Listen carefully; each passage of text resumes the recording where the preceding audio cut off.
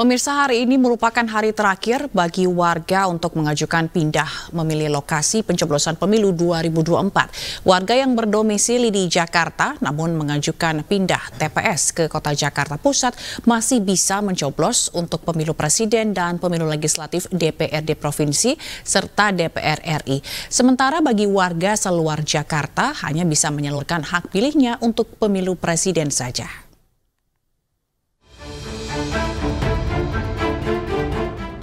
Ratusan calon pemilih mendatangi kantor Komisi Pemilihan Umum Jakarta Pusat Senin pagi untuk mengajukan pindahan memilih tempat pemungutan suara untuk pencoblosan pemilu 2024 14 Februari mendatang.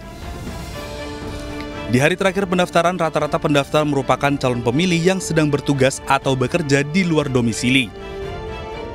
Para pendaftar wajib menyertakan KTP beserta surat tugas dari tempat mereka bekerja. Untuk pendaftar yang masih berdomisili Jakarta namun mengajukan pindah TPS ke kota Jakarta Pusat masih dapat menyalurkan hak pilihnya untuk pemilu presiden dan pemilu legislatif DPRD Provinsi serta DPR RI. Kami pindah milih misalnya untuk yang bertugas itu kan surat keterangan dari atau surat tugas dari tempat bekerja. Kalau yang sedang menjalani rawat inap itu adalah surat keterangan dari rumah sakit yang menjelaskan bahwa pasien tersebut sedang dirawat di rumah sakit itu. Sementara warga asal luar Jakarta yang mengajukan pindah memilih hanya dapat menyalurkan hak pilihnya untuk pemilu presiden saja. Oh, di tempat saya di ini saya milihnya presiden aja karena kalau misalnya di uh, pindah cuma bisa milih itu aja. Oh, karena pindah jadi hanya bisa milih capres dan cawapres ya.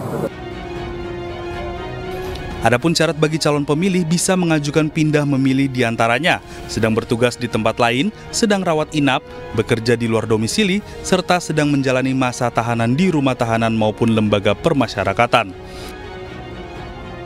Dari Jakarta, Rani Sanjaya, iNews melaporkan.